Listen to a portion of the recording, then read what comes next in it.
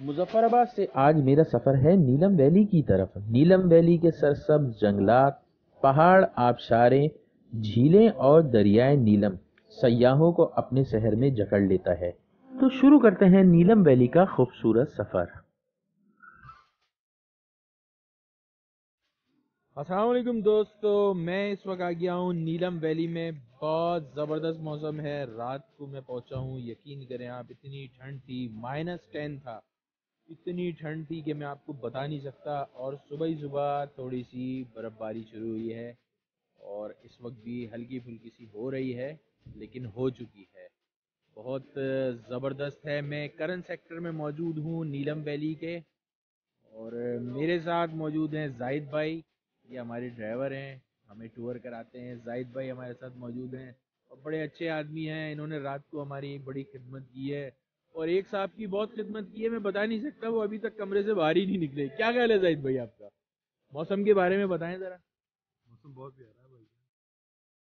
आप इंजॉय कर रहे हैं ये बताएँ। हाँ बहुत ज़्यादा इंजॉय कर रहे हैं। आपको देख के तो बहुत ही कर रहे हैं।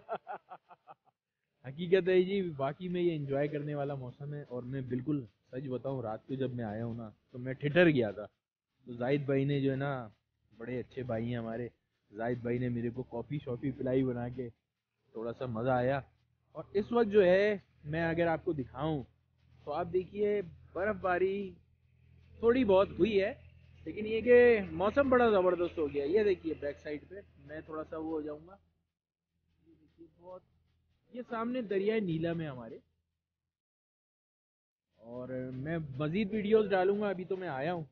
तो इंशाल्लाह मेरे साथ रहिएगा।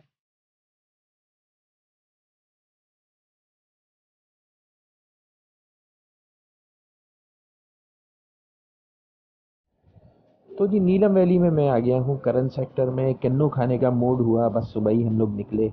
एक शॉप छोटी सी मुझे नज़र आई। यहाँ पे ये बच्चा भी मौजूद है। तो मैंने इससे पूछा, भाई, किन्नू क्या दर्जन है? तो उसने कहा, दस रुपये का एक है। और साथ ही मटर भी है। मटर यहाँ महँगा है? कराची में मटर सस्ता है? यहाँ पे मटर ये दे रहे हैं सौ रुपये किलो। ये देखिए, ये नीलम वैली का व्यू है और ये, उसके साथ ही करन सेक्टर में ये छोटी सी शॉप है। और टमाटर मैंने पूछे तो टमाटर ये दे रहे हैं साठ रुपये किलो। सुबह अल्लाह माशाल्लाह, किन्नू खाने का मूड था और किन्नू हमें दस्तियाब हो गए। सौ रुपये के दस किन्नू हमें मिले हैं और मैं और जाहिद भाई इस ठंडे और मज़ेदार मौसम में किन्नू के साथ इंजॉय करेंगे।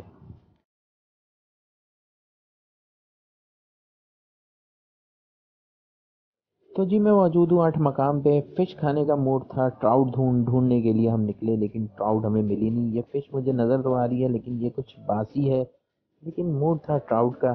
तो चले देखते हैं आगे हमें क्या मिलता है।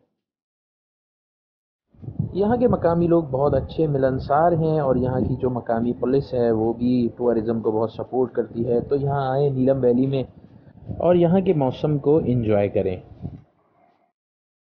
फ़िश का मूड था और अट मकाम पे ट्राउट तो मिली नहीं, लेकिन मेरी नज़र पड़ी चपली कबाब पे। तो बस रहा नहीं गया। मैंने कहा, चलो, फ़िश तो मिली नहीं है। अब चपली कबाब पे ही हाथ साफ़ करते हैं।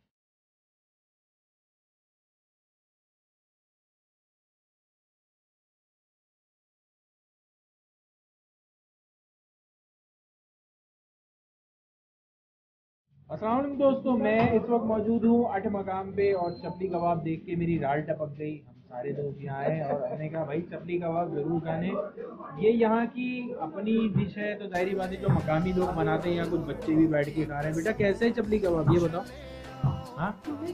मज़े के भाई, इन्होंने पास कर दिए हैं तो हम भी खाएँगे। हमारे साथ मौजूद है हमारे बहुत अच्छे दोस्त और चपली कबाब रेडी हैं। इसको हम ज़रूर इंजॉय करेंगे। बहुत मज़ेदार डिश है ये।